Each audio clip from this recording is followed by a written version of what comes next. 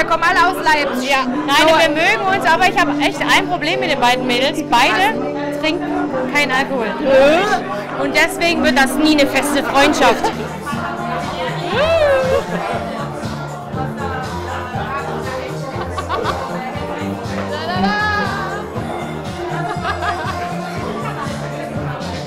Was lesen wir da? Ja, das heißt Tudua A.H. Das heißt, ich liebe Adriano Hess. Also A.H. Michaela kam das immer schon als Adriano Hess an. Oder was sagten Freunde dazu? Dazu sage ich jetzt gar nichts. was? Nein, zu? A.H. Sage ich jetzt gar nein, nichts. genau. Das ist Adriano Hess. Hess, genau. Das ist mein Traummann. Ich will es ihm beweisen. Und jetzt habe ich es machen lassen. Und äh, alle haben mich für verrückt erklärt. Ja, ich wusste, Wusstest du das, ja? Äh, nee, das wu- wusste ich das nicht. Also wir waren äh, davor essen. Also es war so ein Date Night von uns.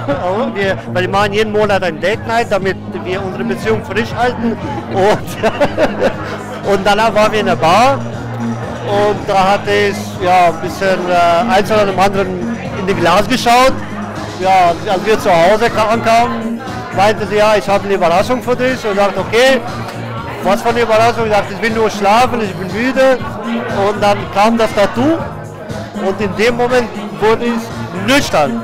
Ich sagte, nein, ist das ein Henna-Tattoo? Ist das äh, meinte Deutsch? Und das habe ich am nächsten Morgen erst realisiert, weil das war für mich äh, also nicht Schock, sondern eine große Ehre, weil bis jetzt hat keine Frau tätowieren lassen. Also, also mega Kannst du- kannst du Kompliment. noch mal zeigen, Michaela? Zeig nochmal dein Tattoo.